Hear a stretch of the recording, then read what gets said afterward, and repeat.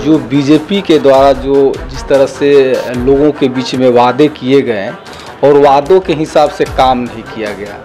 देश में जिस तरह से बेरोजगारी है जिस, देश में जिस तरह से आपका महँगाई बढ़ रहा है, देश में जिस तरह से अशांति फैली हुई है, देश में जितने भी विपक्षी दल के नेता हैं, उनको उनको जो है परेशान किया जा रहा है। और देश के किसान बेहाल है, देश के मजदूर बेहाल है तो इसी सब चीज़ को लेकर के बीजेपी की सरकार 2024 में कैसे हटे और जो है, और जो है हम लोगों का महागठबंधन की सरकार कैसे बने। इसी को लेकर के ये जो है तेईस तारीख को बैठक होना है और सभी विपक्षी दल जो है आज के समय में एकजुट है।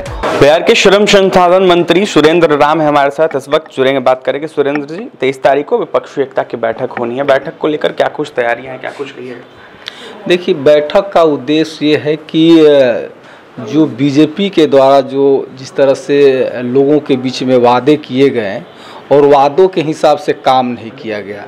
देश में जिस तरह से बेरोजगारी है जिस, देश में जिस तरह से आपका महँगाई बढ़ रहा है, देश में जिस तरह से अशांति फैली हुई है, देश में जितने भी विपक्षी दल के नेता हैं, उनको उनको जो है परेशान किया जा रहा है। और देश के किसान बेहाल है, देश के मजदूर बेहाल है तो इसी सब चीज़ को लेकर के बीजेपी की सरकार 2024 में कैसे हटे और जो है, और जो है हम लोगों का महागठबंधन की सरकार कैसे बने। इसी को लेकर के ये जो है तेईस तारीख को बैठक होना है और सभी विपक्षी दल जो है आज के समय में एकजुट है और ये एकजुटता जो है ना, केंद्र की जो है सरकार जो है बीजेपी की नींव को हिला के रख देगी।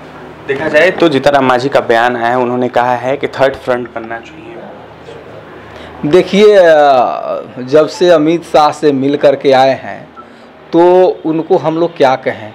अमित शाह से जो भी मिला और उनका बात को जो भी सुना, उस, उनकी पार्टी जो है, ख़त्म हो जाती। जैसे कि आप लोग देखे होंगे कि रामविलास पासवान जी की पार्टी को बीजेपी वाला ख़त्म कर दिया। बीजेपी एकदम दलित विरोधी है और दलित का जो भी पार्टी है, संगठन है, वो अपने राजनीति के तहत उसको एकदम से ख़त्म करने के दिशा में वो काम कर रही है। बीते दिनों माझी जी का यह भी सुरेंद्र जी बयान आया है कि तेजस्वी यादव को नीतीश कुमार धोखा देंगे, मुख्यमंत्री नहीं बनने देंगे। देखिए, आगे ऐसा नहीं है। यहाँ जो है महागठबंधन में सभी लोग हैं और जो भी आगे जो निर्णय होगा मुख्यमंत्री अगला 2025 के कौन बनेंगे, ये महागठबंधन के बैठक से निर्णय होगा और जो निर्णय होगा, वो सब लोगों को मंजूर होगा। आपकी पार्टी के नेता और विधायक नीतीश कुमार को आगे बढ़ाने की बात कर रहे चौबीस में कह रहे हैं कि प्रधानमंत्री के चेहरे के उम्मीदवार नीतीश कुमार। देखिए, ऐसा नहीं है। हम सब लोग हमारे पार्टी के जो है सम्मानीय हमारे गरीबों के मसीहा जन जन के नेता, नौजवानों के हमदर्द, बिहार के उप मुख्यमंत्री सम्मानीय तेजस्वी बाबू और हम सब लोग नीतीश बाबू, हम सब लोग चाहते हैं कि प्रधानमंत्री आगे कौन बनेंगे, वो तो तय हो जाएगा। लेकिन पहले हम लोग का विचार है कि बीजेपी की नींव को उखाड़ करके फेंक दिया जाए।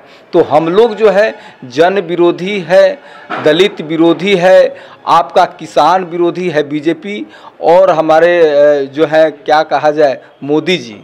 तो झूठे लोग हैं, झूठे झूठे की सरकार जो केंद्र में चल रही है, उसको उखाड़ फेंकने की तैयारी है, और आगे ये तय होगा कि हम उखाड़ने के बाद जो महागठबंधन की अपार जो है बहुमत 2024 में मिलेगी उस वक्त तय हो जाएगा कि अ, इस देश का अगला पीएम प्रधानमंत्री कौन होंगे। अंतिम सवाल रहेगा नीतीश कुमार तेजस्वी यादव दोनों तमिलनाडु आज जा रहे हैं जिसको लेकर बातें सामने निकल कर कहा यह जा रहा है कि एम के स्टाइलन को न्योता देने भी जा रहे हैं। देखिए ये तो बात सही है कि इसमें हमारे तेजस्वी बाबू और नीतीश बाबू दोनों विपक्षी एकता को म- बढ़ा- मज़बूत करने के लिए और ये पूरे देश का दौरा कर रहे हैं। उसी में से ये है कि सभी विपक्षी लोगों को एक सूत्र में बांधा जाए, उनको मज़बूत किया जाए और जो है, जो आशा भी सभी किसान मजदूर और नौजवान लगा करके रखे हैं